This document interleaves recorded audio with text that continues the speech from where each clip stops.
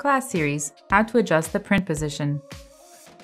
It's possible to adjust the X and Y position of the printout on a Class Series printer. The following printer settings can be used. Move in the X direction, right or left.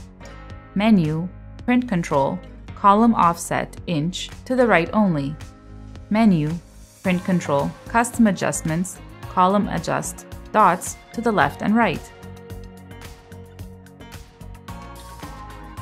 To move in the Y direction, up or down, go to Menu, Print Control, Row Offset, Inch, Up only. Menu, Print Control, Custom Adjustments, Row Adjust, Dots, Up and Down. To have access to the Custom Adjustment setting, you need to choose the Advanced Menu mode. System Settings, Menu Mode, Advanced Menu.